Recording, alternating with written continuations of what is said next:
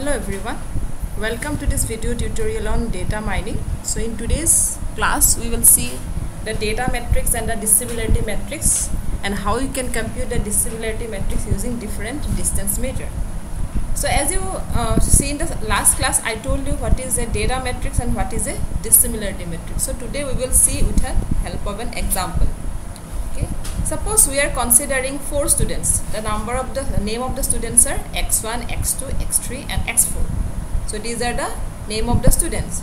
So we are considering two attribute attribute 1 and attribute 2 so think of that i have taken two class tests. One is class test 1 another is class test 2 and these are the marks obtained in the class test 1 out of 5 by this corresponding students. And these are the marks obtained by this number of students in the class test 2 which is also out of 5 okay? So we can see the student x1 is getting 1 out of 5 in first class test and 2 out of 5 in the second class test like this. So these are the different attributes we are considering whenever we are going to compare these two students okay? So as, as there are two attributes we can plot these values in a two dimensional plane. You can think of it as an x coordinate you can think of it as an y coordinate. So if i plot so the student will be placed in like this x1 x2 x3 and x4 okay? So as you can see in the data matrix how many rows are there? There are four rows since there are four number of students. And how many columns are there? There are two columns because we are considering two attribute okay? So whenever i compute the dissimilarity matrix or distance matrix so there will be four rows but there will be not two columns there will be four columns. Why? Because i will compare each student with other three students. So x1 will be compared with x1 itself.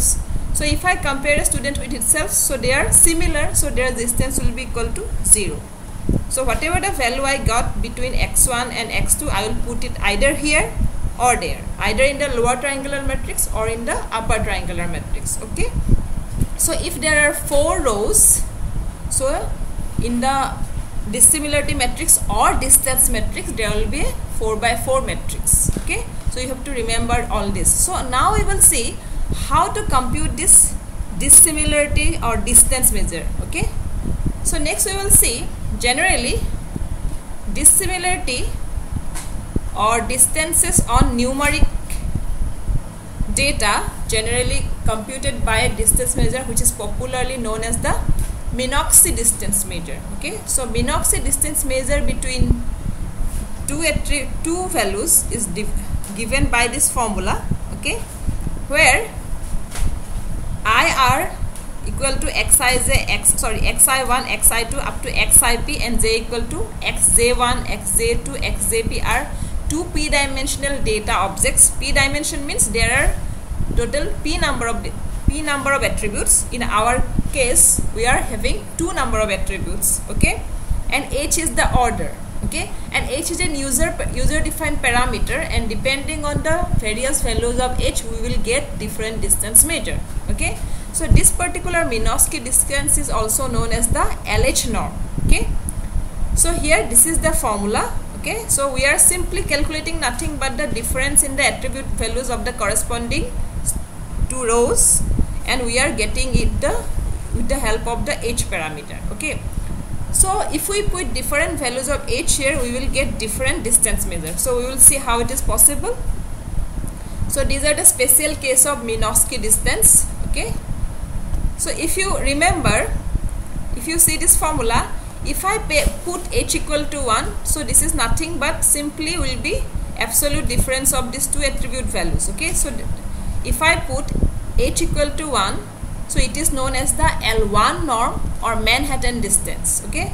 So the formula will be simply the difference between the corresponding attribute values. And lastly the summation of and finally we took the summation of all the differences and we finally get the L1 norm or city block or Manhattan distance. So this is a popular example of Hamming distance where the number of bits that are different between two binary vectors. So we know what is the Hamming distance. So this is an example of Hamming distance. Okay. So if I put h equal to 1 we get L1 norm or city block distance. Okay. If I put h equal to 2 here as you can see so it will be square and it will be square root because it is root over then it will be square root if I put h equal to 2 then you can see the same thing but there is a 2 here square and after uh, square summation I have to find out the square root value of the whole thing. So this is known as the L2 norm or Euclidean distance. Okay if I put h equal to 2 and if I put h equal to infinity this is known as the supremum distance L infinity norm or L max norm. Okay? So generally this is the maximum difference between any component attribute of the vector. So it is defined as using this formula which is known as the it, here it is defined that it is the maximum difference between any component of the vector. So now see if we if we put different values of h we will get different distance measure. So let's see with that example how can we compute okay? So we have taken this attribute okay?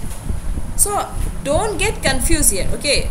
There is a thing what is h h is a user defined parameter but it is not equal to the number of dimensions. Number of attribute is always defined by this p. P is the total number of attributes and in our case 2 is the total number of attribute because we are considering only two attributes 1 and 2 so here our attribute value will be 2 okay? So here the value here our this particular value will go up to p is p is equal to 2 here only okay but h is a different thing. H h is an user defined parameter and it, it, you don't have to confuse with the number of attributes. So first we will see how will you find the manhattan distance matrix using this data matrix. So this is the data matrix and this is the distance matrix. Since there are four rows so there will be a 4 by 4 column. In every case this will be a 4 by 4 column 4 by 4 metric okay?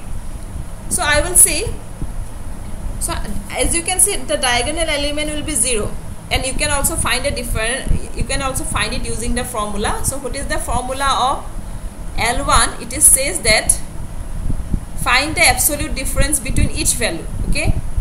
So if I have to find the difference between distance between x1 and x1 so 1 minus 1 2 minus 2 so 1 minus 1 is 0 2 minus 2 is 0 so ultimately it will be 0 so if I have to find distance between 1 and 2 so this is the value between x1 and x2 so 1 minus 3 is 2 and 5 minus 2 is 3 so 2 plus 3 will be 5 in case of x3 and x1 this is 1 minus 2 which is 1 and 2 minus 0 2 so ultimately it will be 3 and x2 and x3 it is 1 5 so it will be 6 okay? In case of x4 it will be x4 and x1 1 minus 4 is 3 2 minus 5 is uh, 3 so 3 minus 3 plus 3 will be 6 so like this you can compute the L1 norm. It is simply find out the absolute difference between the attribute values of the between these two vectors and you have to sum it up okay? Next we will say what is the Euclidean distance. Euclidean distance is also same okay?